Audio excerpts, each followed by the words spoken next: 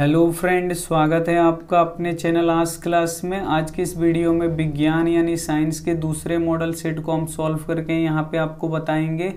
जिसमें 48 महत्वपूर्ण ऑब्जेक्टिव प्रश्न है और ऐसे ही आपके बोर्ड एग्ज़ाम में प्रश्न पूछे जाएँगे तो एक भी प्रश्न को स्किप नहीं करना है, शुरू से अंत तक देखना है। अगर अभी तक आपने चैनल को सब्सक्राइब नहीं किया है तो चैनल को सब्सक्राइब कर लीजिए। सब्सक्राइब करने के बाद एक बेल आइकन आता है, उसको ऑल पे दबाइए ताकि जब भी हम कोई वीडियो अपलोड करें तो सबसे पहले नोटिफिकेशन आप तक पहुँचे और डेली शाम पाँच बजे लाइव क्लास चलता है तो लाइव क्लास में आप लोग ज़रूर आइए। आइए शुरू करते हैं यहाँ से पहले नंबर प्रश्न से। तो पहला प्रश्न आपके स्क्रीन पे ये रहा। पहला प्रश्न देखिए, काफ़ी महत्वपूर्ण है। प्रकाश के परावर्तन के कितने नियम है? यहाँ पे पूछा गया है कि प्रकाश के परावर्तन के कितने नियम होते हैं? ए ऑप्शन है एक बी ऑप्शन है दो सी ऑप्शन है तीन डी ऑप्शन है चार। तो यहाँ पे पूछा गया है कि प्रकाश के परावर्तन के कितने नियम होते हैं? तो प्रकाश के परावर्तन के दो नियम होते हैं, यानी यहाँ पे बी ऑप्शन क्या हो जाएगा? बिल्कुल सही हो जाएगा। आइए देखते हैं दूसरा प्रश्न। दूसरा प्रश्न देखिए, काफ़ी महत्वपूर्ण है। दूसरा प्रश्न है, वायु में गमन करती प्रकाश की एक किरण जल में तिरछे प्रवेश करती है, यह किरण ए ऑप्शन है अविलंब की ओर झुकेगी, बी ऑप्शन है अविलंब से दूर हटेगी, सी ऑप्शन है, सीधी निकल जाएगी, डी ऑप्शन है, परावर्तित हो जाएगी। तो यहाँ पे देखिए, वायु क्या हो जाएगा, विरल माध्यम हो जाएगा और जल क्या हो जाएगा, यहाँ पे सघन माध्यम हो जाएगा। तो पता होगा आपको कि जब प्रकाश की किरणें विरल माध्यम से सघन माध्यम में प्रवेश करती है तो अभिलंब की ओर झुकती है, यानी यहाँ पे ए ऑप्शन क्या हो जाएगा? यहाँ पे बिल्कुल सही हो जाएगा। और सघन माध्यम से जब विरल माध्यम में जाएगा तो अभिलंब से दूर हटेगा, ये भी आपको पता होना चाहिए। यानी यहाँ पे ए ऑप्शन क्या हो जाएगा? बिल्कुल सही हो जाएगा। यहाँ पे देखिए, तीसरा प्रश्न निम्नलिखित में किस लेंस को अपसारी लेंस कहते हैं? ए ऑप्शन है उत्तर लेंस बी ऑप्शन है अवतल लेंस सी ऑप्शन है उत्तल एवं अवतल लेंस डी ऑप्शन है बाईफोकल लेंस तो यहाँ पे देखिए किस लेंस को अपसारी लेंस कहते हैं? तो यहाँ पे देखिए अवतल लेंस को अपसारी लेंस कहते हैं। क्यों कहते हैं? क्योंकि ये प्रकाश की किरण को फैलाने का कार्य करता है, इसीलिए अवतल लेंस को अपसारी लेंस कहते हैं और अभिसारी लेंस उत्तल लेंस को कहते हैं। तो ये भी साथ में आपको पता होना चाहिए। आइए देखते हैं अगला प्रश्न यहाँ पे चार नंबर। चार नंबर प्रश्न देखिए, काफ़ी महत्वपूर्ण है। किसी बिंब का वास्तविक तथा समान साइज़ का प्रतिबिंब प्राप्त करने के लिए बिंब को उत्तल लेंस के सामने कहाँ रखना चाहिए? यहाँ पे देखिए, वस्तु के बराबर अगर हमको प्रतिबिंब चाहिए तो हमें कहाँ रखना चाहिए? वक्रता केंद्र यानी सी पे वस्तु का प्रतिबिंब, वस्तु को रखना चाहिए। ए ऑप्शन है यहाँ पे देखिए, लेंस के मुख्य फोकस पर, बी ऑप्शन है लेंस की फोकस के दुगुनी दूरी पे। तो लेंस का जो फोकस होता है, उसके दुगुनी दूरी पे कौन होता है? वक्रता केंद्र होता है। यानी यहाँ पे बी ऑप्शन क्या हो जाएगा? यहाँ पे बिल्कुल यहाँ पे सही हो जाएगा वक्रता केंद्र। केंद्र पे, यानी लेंस की फोकस की दुगनी दूरी पे, यानी बी ऑप्शन यहाँ पे क्या हो जाएगा? बिल्कुल सही हो जाएगा। आइए देखते हैं अगला प्रश्न। यहाँ पे पाँच नंबर प्रश्न काफ़ी महत्वपूर्ण है। मानव नेत्र जिस भाग पर किसी वस्तु का प्रतिबिंब बनता है, वह यहाँ ये प्रश्न पूछा गया है पाँच नंबर के। मानव नेत्र में जिस भाग पे किसी भी वस्तु का प्रतिबिंब बनता है, उसे क्या कहते हैं? ए ऑप्शन है कार्निया बी ऑप्शन है परितारिका सी ऑप्शन है पुतली डी ऑप्शन है दृष्टि पटल तो जिस भाग पे नेत्र पे, जिस नेत्र के जिस भाग पे वस्तु का प्रतिबिंब बनता है, उसे रेटिना या दृष्टि पटल कहा जाता है, यानी यहाँ पे डी ऑप्शन क्या हो जाएगा? बिल्कुल सही हो जाएगा। आइए देखते हैं अगला प्रश्न। यहाँ पे छह नंबर प्रश्न है, किसी माध्यम के अपवर्तनांक म्यू का मान होता है? ए ऑप्शन है साइन आई बटा साइन आर बी ऑप्शन है साइन आर बटा साइन आई सी ऑप्शन है साइन आई गुड़े साइन आर डी ऑप्शन है sine i plus sine r तो किसी भी माध्यम का अपवर्तनांक म्यू का मान क्या होता है? साइन आई बटा साइन आर होता है, यानी यहाँ पे ए ऑप्शन क्या हो जाएगा? यहाँ पे बिल्कुल सही हो जाएगा। आइए देखते हैं अगला प्रश्न। यहाँ पे सात नंबर प्रश्न देखिए, काफ़ी महत्वपूर्ण है। सात नंबर प्रश्न है, किसी लेंस का आवर्धन का ही मात्रक निम्नलिखित में से कौन होता है? ए ऑप्शन है मीटर, बी ऑप्शन है यहाँ पे सेंटीमीटर, सी ऑप्शन है यहाँ पे मिलीमीटर, डी ऑप्शन है मात्रक विहीन होता है। तो यहाँ पे देखिए, आवर्धन का मतलब क्या होता है? प्रतिबिंब के ऊंचाई बट्टा वस्तु के ऊंचाई के अनुपात को आवर्धन कहते हैं। मान लीजिए प्रतिबिंब की ऊंचाई चार मीटर है और वस्तु का ऊंचाई दो मीटर है, इसके अनुपात यानी बट्टे को कहते हैं। तो यहाँ से मीटर से मीटर कट गया, दो से दो कट गया, यानी दो आ गया। इसमें मात्रक क्या हो जाता है? कट जाता है। यानी ये मात्रक विहीन हो जाता है, यानी यहाँ पे डी ऑप्शन क्या हो जाएगा? यहाँ पे बिल्कुल सही हो जाएगा। जो आवर्धन होता है, उसका कोई भी मात्रक नहीं होता है। ये प्रश्न काफ़ी महत्वपूर्ण है तो आपको याद रखना है कि मात्रक विहीन होता है। आइए देखते हैं अगला प्रश्न यहाँ पे। आठ नंबर प्रश्न देखिए, तारों का टिमटिमाना प्रकाश के किस परिघटना को दर्शाता है? ए ऑप्शन है प्रकाश का परावर्तन, बी ऑप्शन है प्रकाश का अपवर्तन, सी ऑप्शन है प्रकाश का प्रकीर्णन, डी ऑप्शन है प्रकाश का वर्ण विक्षेपण। तो यहाँ पे देखिए, तारों का टिमटिमाना प्रकाश के किस परिघटना पे आधारित है? तो ये प्रकाश के अपवर्तन पे आधारित है, यानी यहाँ पे बी ऑप्शन क्या हो जाएगा? यहाँ पे बिल्कुल सही हो जाएगा। जो तारे होते हैं, वो प्रकाश के अपवर्तन के कारण ही टिमटिमाते हुए नज़र आते हैं। आइए देखते हैं, नौ नंबर प्रश्न काफ़ी महत्वपूर्ण है। किसी चालक का प्रतिरोध निम्नलिखित में से किस पर निर्भर करता है? ए ऑप्शन है चालक तार की लंबाई पे, बिल्कुल ये निर्भर करता है। बी ऑप्शन है चालक तार के अनुप्रस्थ काट क्षेत्रफल पे, इस पे भी निर्भर करता है। सी ऑप्शन है चालक तार के पदार्थ की प्रकृति पे, इस पे भी निर्भर करता है। यानी उपयुक्त में से सभी पर निर्भर करता है। यानी यहाँ पे डी ऑप्शन क्या हो जाएगा? बिल्कुल सही हो जाएगा। एक भी प्रश्न आप स्किप नहीं कीजिए। शुरू से अंत तक देखिए, आपको बहुत ही फ़ायदा होने वाला है। आइए देखते हैं अगला प्रश्न यहाँ पे। दस नंबर दस नंबर प्रश्न देखिए, काफ़ी महत्वपूर्ण है, निम्नलिखित में से कौन विद्युत शक्ति का ऐसा ही मात्रक है ए ऑप्शन है वाट बी ऑप्शन है वाट प्रति घंटा सी ऑप्शन है एम्पियर डी ऑप्शन है ओम। तो यहाँ पे देखिए, निम्नलिखित में से कौन विद्युत शक्ति का ऐसा ही मात्रक होता है? तो वाट क्या होता है? विद्युत शक्ति का ऐसा ही मात्रक होता है, यानी यहाँ पे ए ऑप्शन क्या हो जाएगा? यहाँ पे बिल्कुल सही हो जाएगा। आइए देखते हैं अगला प्रश्न यहाँ पे। अगला प्रश्न देखिए, ग्यारह नंबर, विद्युत परिपथ में विद्युत धारा को मापने के लिए निम्न में से किस युक्ति का उपयोग होता है? यहाँ पे बोला गया कि परिपथ में अगर विद्युत धारा का, को मापना है तो किस युक्ति का हम प्रयोग करेंगे? ए ऑप्शन है गैल्वेनोमीटर, बी ऑप्शन है बोल्ट मीटर सी ऑप्शन है आ मीटर डी ऑप्शन है यहाँ पे बोल्ट मीटर तो विद्युत धारा को मापने के लिए ए मीटर या आ मीटर का प्रयोग किया जाता है, यानी यहाँ पे सी ऑप्शन क्या हो जाएगा? बिल्कुल सही हो जाएगा। आइए देखते हैं अगला प्रश्न यहाँ पे। बारह नंबर प्रश्न है, देखिए, काफ़ी महत्वपूर्ण है। बारह नंबर प्रश्न है, फ्यूज तार के लिए निम्न में से कौन सा कथन सत्य है? जो फ्यूज तार होता है, उसके लिए इसमें से कौन सा कथन सत्य है, उसको पहचानना है। ए ऑप्शन है प्रतिरोध तथा गलनांक दोनों अधिक होना चाहिए, गलत बात है। बी ऑप्शन है प्रतिरोध कम तथा गलनांक अधिक होना चाहिए ये भी गलत बात है। सी ऑप्शन प्रतिरोध अधिक तथा गलनांक कम ये सी वाला ऑप्शन क्या हो जाएगा? यहाँ पे बिल्कुल सही हो जाना चाहिए हो हो, हो जाएगा सही कि फ्यूज तार का प्र, फ्यूज तार जो होता है जिसका प्रतिरोध अधिक होता है और गलनांक क्या होता है कम होता है यानी यहाँ पे सी ऑप्शन क्या हो जाएगा? बिल्कुल सही हो जाएगा। आइए देखते हैं अगला प्रश्न यहाँ पे। तेरह नंबर प्रश्न देखिए, काफ़ी महत्वपूर्ण है। यहाँ पे पूछा गया है कि निम्नलिखित पदार्थों में से कौन चुंबकीय पदार्थ नहीं है। यहाँ पे बताना है कि कौन चुंबकीय पदार्थ नहीं है। ए ऑप्शन है लोहा तो ये चुंबकीय पदार्थ है। बी ऑप्शन है निकल, ये भी चुंबकीय पदार्थ है। यहाँ पे डी ऑप्शन देखिए, कोबाल्ट, ये भी लोहा, निकल, कोबाल्ट, ये तीनों क्या है, चुंबकीय पदार्थ है, लेकिन जो पीतल है, वो चुंबकीय पदार्थ नहीं है। यानी यहाँ पे सी ऑप्शन क्या हो जाएगा? बिल्कुल सही हो जाएगा। आइए देखते हैं अगला प्रश्न यहाँ पे।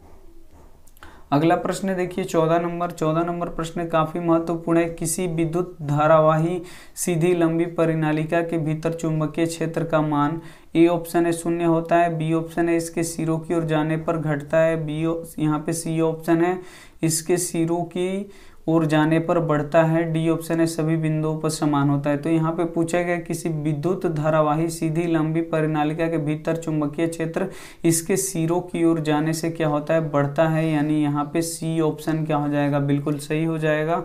काफ़ी महत्वपूर्ण प्रश्न है। आइए देखते हैं पंद्रह नंबर प्रश्न। तो यहाँ पे देखिए पंद्रह नंबर प्रश्न है, विद्युत धारा का चुंबकीय प्रभाव का खोज किसने किया यहाँ पे पूछा गया कि विद्युत धारा के चुंबकीय प्रभाव का खोज किसने किया? ए ऑप्शन है ओस्टेड, बी ऑप्शन है यहाँ पे एम्पियर, सी ऑप्शन है बोर, डी ऑप्शन है फेराडे। तो यहाँ पे डी ऑप्शन क्या हो जाएगा? बिल्कुल सही हो जाएगा। विद्युत धारा के चुंबकीय प्रभाव का खोज किसने किया था? तो माइकल फेराडे ने किया था, यानी यहाँ पे डी ऑप्शन क्या हो जाएगा? बिल्कुल सही हो जाएगा। आइए देखते हैं अगला प्रश्न। यहाँ पे 16 नंबर प्रश्न देखिए, निम्न में से कौन जैव मात्रा ऊर्जा का उदाहरण नहीं है? ए ऑप्शन है लकड़ी बी ऑप्शन है गोबर गैस सी ऑप्शन है नाभिकीय ऊर्जा डी ऑप्शन है कोयला। तो यहाँ पे पूछा गया है कि निम्न में से कौन जैव मात्रा ऊर्जा स्रोत का उदाहरण नहीं है तो यहाँ पे नाभिकीय ऊर्जा नहीं है, यानी यहाँ पे सी ऑप्शन क्या हो जाएगा? बिल्कुल सही हो जाएगा। आइए देखते हैं अगला प्रश्न, यहाँ पे सत्रह नंबर प्रश्न देख लीजिए। N A two S O four plus B A C L two arrow B S O four plus two N S C L तो यहाँ पे देखिए जो एस ओ फोर है, वो किसके साथ विस्थापित हो जा रहा है? बी ए के साथ ये क्या हो जा रहा है? विस्थापित हो जा रहा है। जो एन ए यानी सोडियम है, वो सी एल के साथ विस्थापित हो जा रहा है। यहाँ पे देख सकते हैं, यहाँ पे बी एस ओ फोर बन रहा है, यानी बी ए के साथ एस ओ फोर चला गया और एन ए किसके साथ चला गया? सोडियम के साथ। तो ये प्रतिस्थापन हो रहा है, यानी यहाँ पे ये कौन सी अभिक्रिया हम लोग कहेंगे इसे? विस्थापन अभिक्रिया कहा जाएगा। यानी यहाँ पे डी ऑप्शन क्या हो जाएगा? यहाँ पे बिल्कुल सही हो जाएगा। आइए देखते हैं अगला प्रश्न यहाँ पे।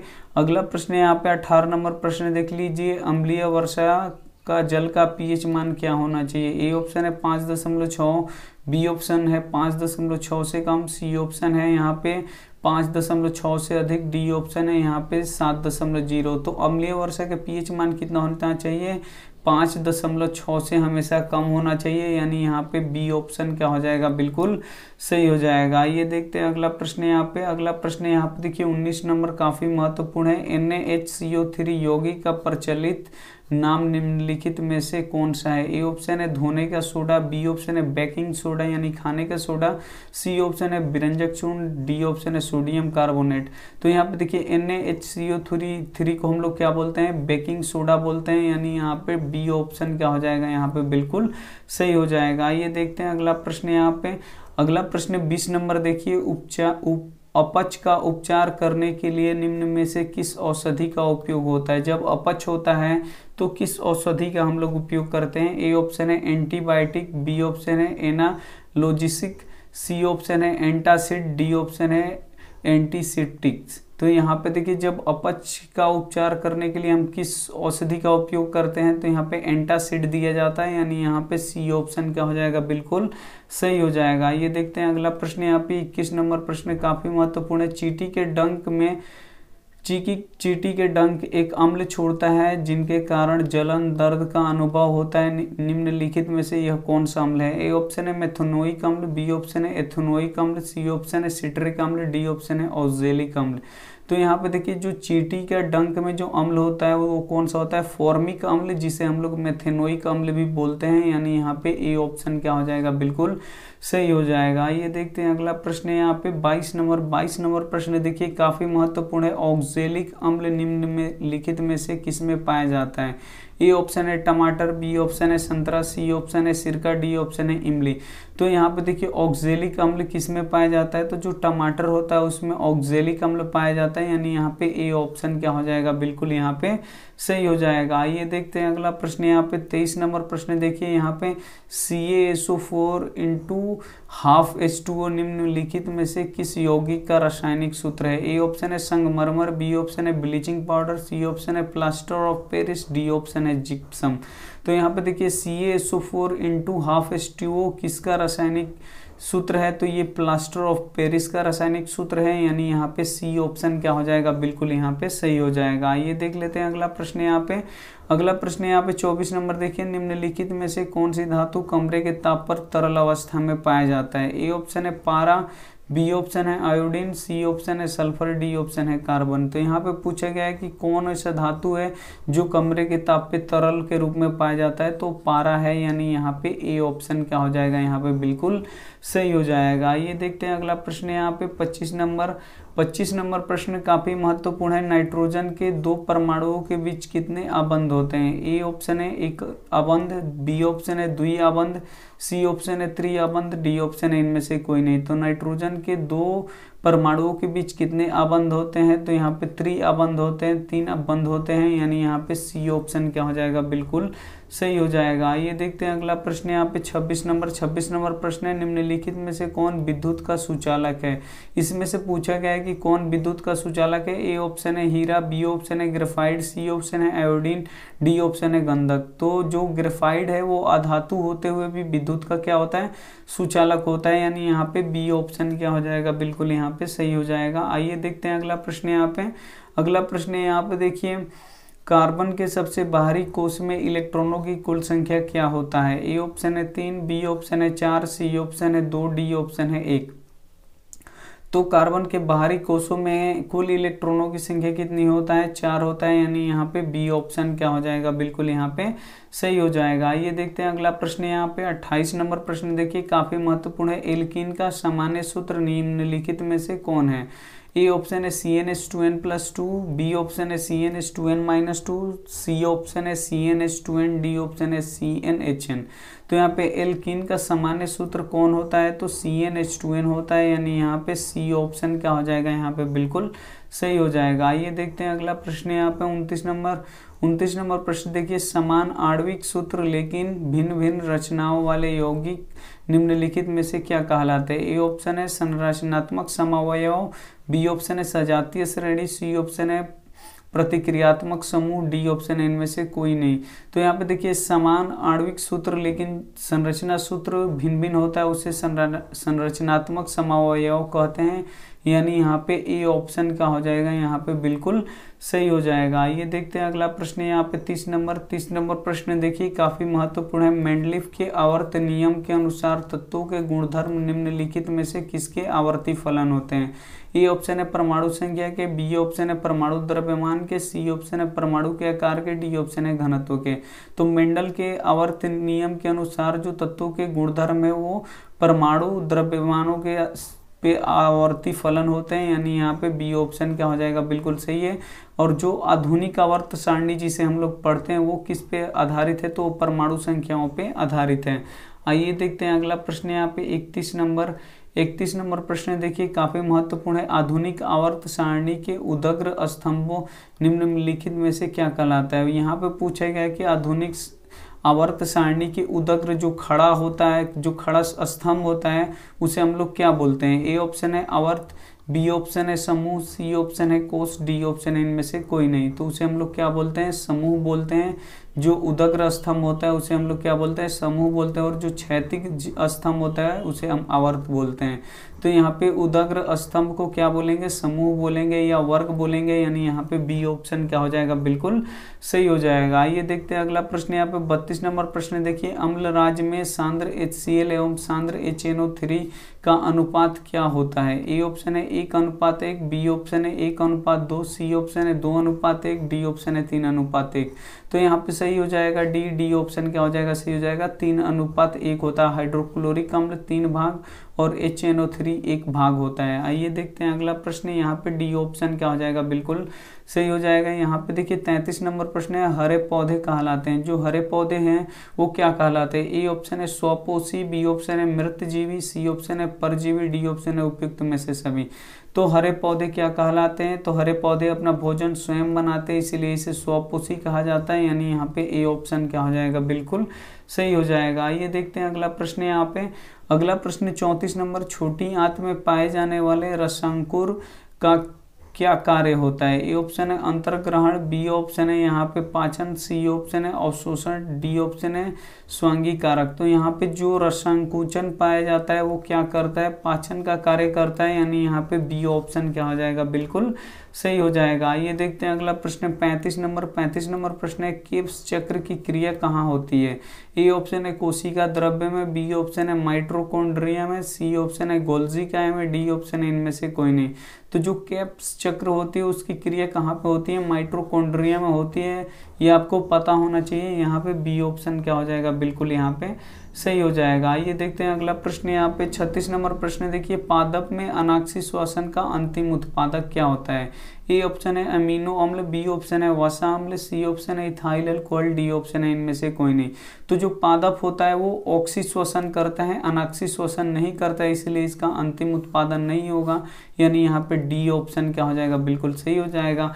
पादप हमेशा श्वसन करता है, अनाक्षी श्वसन नहीं करता है। आइए देखते हैं अगला प्रश्न यहाँ पे। सैंतीस नंबर प्रश्न देखिए, काफ़ी महत्वपूर्ण है। पौधों में जल का परिवहन किसके द्वारा होता है? ए ऑप्शन है जाइलम, बी ऑप्शन है फ्लोएम, सी ऑप्शन है ए, बी, दोनों डी ऑप्शन है, इनमें से कोई नहीं। तो पौधों में जल का परिवहन किसके द्वारा होता है? तो जाइलम के द्वारा होता है, यानी यहाँ पे ए ऑप्शन क्या हो जाएगा? बिल्कुल यहाँ पे सही हो जाएगा। आइए देखते हैं अगला प्रश्न यहाँ पे। डी ऑप्शन यहाँ पे अड़तीस नंबर प्रश्न है। खुला परिवहन तंत्र किसमें पाया जाता है या खुला परिचरण तंत्र किसमें पाया जाता है? ए ऑप्शन है बिल्ली, बी ऑप्शन है मनुष्य में, सी ऑप्शन है तितली में, डी ऑप्शन है तिलचट्टा में। तो खुला परिवहन तंत्र किसमें पाया जाता है? तिलचट्टे में पाया जाता है, यानी यहाँ पे डी ऑप्शन क्या हो जाएगा? बिल्कुल यहाँ पे सही हो जाएगा। आइए देखते हैं अगला प्रश्न, उनतालीस नंबर। उनतालीस नंबर प्रश्न देखिए, निम्न में से कौन पादप का उत्सर्जी पदार्थ नहीं है? इसमें से बताना है कि कौन सा, कौन है जो पादप का उत्सर्जी पदार्थ नहीं है? ए ऑप्शन है टेनिन, ये पादप का उत्सर्जी पदार्थ है। बी ऑप्शन है रेनिन, ये भी पादप का उत्सर्जी पदार्थ है। सी ऑप्शन है लेक्टस, ये भी है। डी ऑप्शन है स्टार्च तो ये नहीं है पादप का उत्सर्जी पदार्थ, यानी यहाँ पे डी ऑप्शन क्या हो जाएगा? बिल्कुल यहाँ पे सही हो जाएगा। आइए देखते हैं अगला प्रश्न यहाँ पे। अगला प्रश्न चालीस नंबर है। इनमें से कौन एमिनो अम्ल के विखंडन से बनता है? ए ऑप्शन है सीओ टू बी ऑप्शन है सीओ सी ऑप्शन है H N O three D option है। उपयुक्त में से सभी। तो एमिनो अम्ल के विखंडन पे ये सभी बनता है, यानी यहाँ पे डी ऑप्शन क्या हो जाएगा? यहाँ पे बिल्कुल सही हो जाएगा। ये देखते हैं अगला प्रश्न यहाँ पे। अगला प्रश्न यहाँ पे देखिए, इकतालीस नंबर प्रश्न है, निम्नलिखित में से कौन अंतस्रावी ग्रंथि है? इसमें से पहचानना है कि कौन अंतस्रावी ग्रंथि है? ए ऑप्शन है यकृत, बी ऑप्शन है लार ग्रंथि, सी ऑप्शन है श्वेत ग्रंथि, डी ऑप्शन है थायराइड ग्रंथि। तो यहाँ पे बताना है कि कौन अंतस्रावी ग्रंथि है? तो जो थायराइड ग्रंथि है, वो अंतस्रावी ग्रंथि है, यानी यहाँ पे डी ऑप्शन क्या हो जाएगा? बिल्कुल सही हो जाएगा। ये देखते हैं अगला प्रश्न यहाँ पे। अगला प्रश्न, बयालीस नंबर प्रश्न काफ़ी महत्वपूर्ण है। इसमें से कौन फल पकाने में प्रयुक्त होता है? यहाँ पे बताना है कि इसमें से किसका उपयोग हम लोग फल पकाने में करते हैं? ए ऑप्शन है ऑक्सीन, बी ऑप्शन है जिब्रेलिन, सी ऑप्शन है एथिलीन, डी ऑप्शन है साइटोकाइनिन। तो यहाँ पे देखिए, फल पकाने में किसका प्रयोग होता है? तो एथिलीन का प्रयोग होता है, यानी यहाँ पे सी ऑप्शन क्या हो जाएगा? बिल्कुल यहाँ पे सही हो जाएगा। आइए देखते हैं अगला प्रश्न यहाँ पे। अगला प्रश्न देखिए, तिरालीस नंबर का प्रश्न काफ़ी महत्वपूर्ण है। इंसुलिन की कमी से कौन सा रोग होता है? यहाँ पे बताना है कि इंसुलिन की कमी से कौन सा रोग होता है। ए ऑप्शन है घेगा बी ऑप्शन है मधुमेह सी ऑप्शन है एड्स डी ऑप्शन है रतौंधी। तो इंसुलिन की कमी से कौन सा रोग होता है? तो ये मधुमेह होता है, यानी जिसे हम डायबिटीज़ भी बोलते हैं, यानी यहाँ पे बी ऑप्शन क्या हो जाएगा? शुगर क्या हो जाएगा यहाँ पे? सही हो जाएगा। आइए देखते हैं अगला प्रश्न यहाँ पे। अगला प्रश्न देखिए, चौवालीस नंबर, यष्टि में अलैंगिक जनन का कौन सा विधा है? ए ऑप्शन है यहाँ पे मुकुलन, बी ऑप्शन है बीजाणु जनन, सी ऑप्शन है पुनर्जनन, डी ऑप्शन इनमें से कोई नहीं। तो यहाँ पे देखिए यष्टि में अलैंगिक जनन में कौन सी विद्या पाई जाती है? तो ये मुकुलन पाया जाता है, यानी यहाँ पे ए ऑप्शन क्या हो जाएगा? बिल्कुल यहाँ पे सही हो जाएगा। ये देखते हैं अगला प्रश्न यहाँ पे। अगला प्रश्न, पैंतालीस नंबर, मादा में निषेचन की प्रक्रिया कहाँ होती है?